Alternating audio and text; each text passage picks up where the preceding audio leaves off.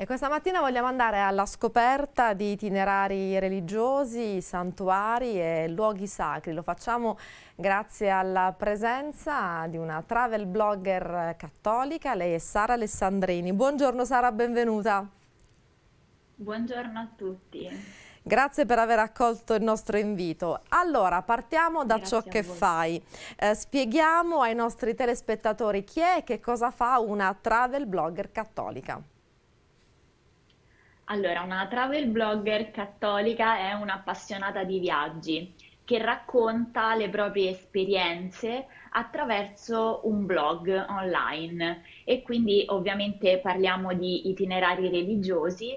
E mm, questo blog online per una travel blogger diventa una specie di diario di viaggio dove appunto io racconto le mie esperienze, do consigli, informazioni eh, a 360 gradi, ma dal mio punto di vista ovviamente, quindi eh, diciamo che è un, la mia storia e racconto appunto questi luoghi religiosi. Ho iniziato così con eh, questo blog online e poi eh, ho deciso di aprire anche dei canali sui social network, quindi su Instagram, su Facebook, per raccontare appunto attraverso dei piccoli video eh, le mie esperienze e quindi insomma proprio live, quindi eh, mi succede proprio questo, io vado a fare un pellegrinaggio e durante il pellegrinaggio racconto giorno per giorno tutto quello che, che vedo.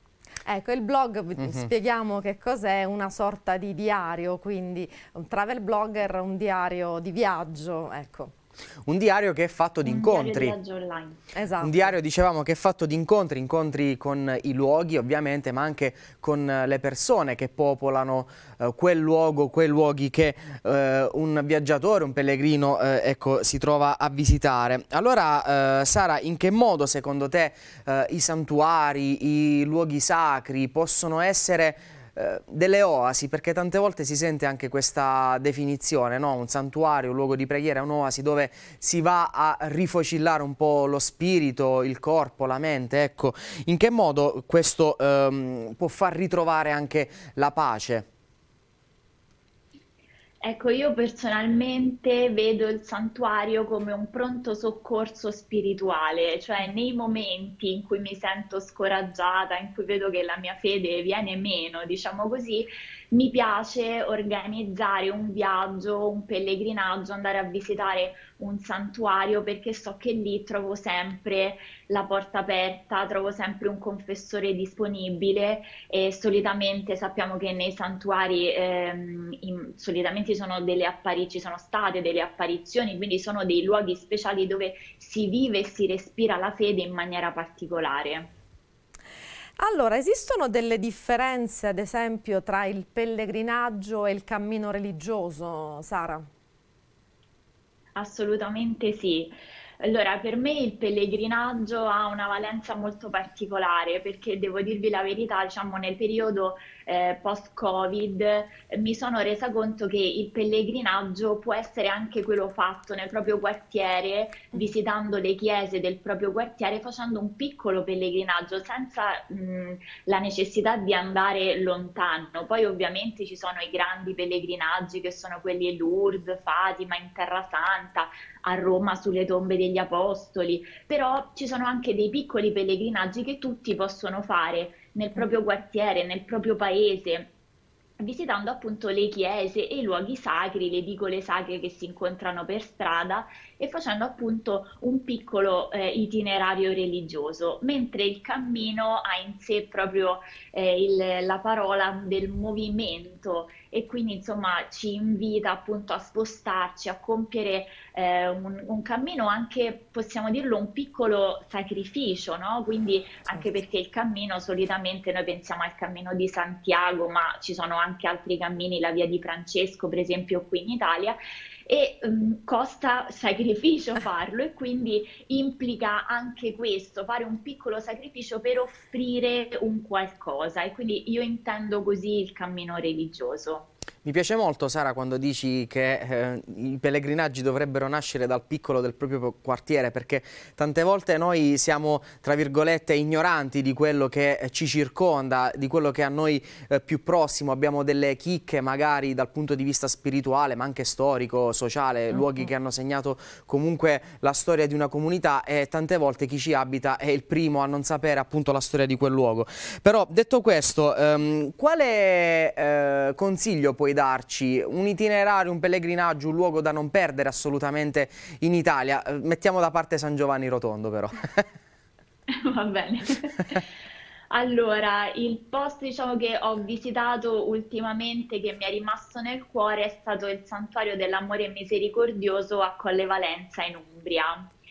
Tra l'altro, ovviamente non so se un po' sapete la storia, è dedicato a Madre Speranza e il corpo di Madre Speranza si trova lì, è stata lei a volere la realizzazione di questo santuario e ehm, all'interno del santuario è considerato un po' la piccola Lourdes d'Italia proprio perché avviene lo stesso eh, che avviene a Lourdes, quindi si possono fare dei bagni nelle piscine di quest'acqua dell'amore misericordioso ed è un'acqua che dicono che sia un'acqua con poteri taumaturgici. Mm-hmm. E eh, il 2 marzo riaprirà, riapriranno appunto queste vasche eh, per appunto fare quei bagni come avviene eh, a Lourdes. E quindi io spero di poterci tornare, io sono stata poco fa ma desidero tornarci perché eh, è stata una bellissima esperienza anche solo andando lì e attingendo l'acqua nella mia bottiglietta. E quindi insomma eh, spero di tornarci presto per fare anche l'esperienza del bagno nella vasca. Eh, Sara, non solo eh, social, appunto non solo Instagram, il sito internet, il tuo blog online, ma anche un libro che si intitola Un'altra strada, i miei itinerari mariani in Italia. Appunto, eh, ci racconti in quale viaggio spirituale accompagni i lettori con questo libro? Sì, è un lungo itinerario che attraversa tutta l'Italia eh, passando per 12 santuari mariani in cui ci sono state delle apparizioni della Vergine Maria.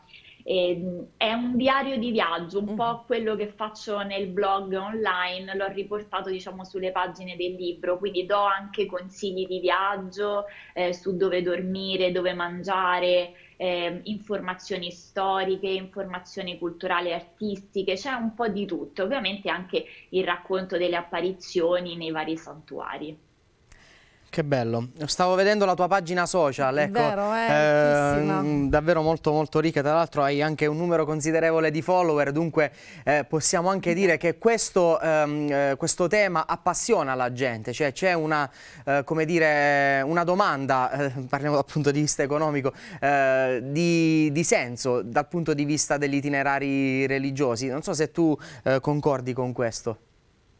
Assolutamente sì. Io ho, diciamo che questa cosa degli itinerari religiosi mi è un po' esplosa in mano, io non mi aspettavo che avrebbe preso questa portata, cioè io ho iniziato a raccontare con molta semplicità le mie esperienze, i miei pellegrinaggi, i miei viaggi religiosi e ho deciso appunto di aprirmi questa pagina Instagram che ha riscontrato un discreto successo proprio perché ci sono tante persone interessate, ma non solo persone credenti come me, insomma, che frequentano chiese e santuari, ma anche persone incuriosite da quello che racconto, dalle informazioni, eh, dalla storia dei santi. Sono rimasta piacevolmente colpita da, da questo. Mm-hmm. Che Potre, bello. Potremmo dire, Sara, che questa passione nasce anche da un tuo personale cammino di fede, anche di conversione? Assolutamente sì.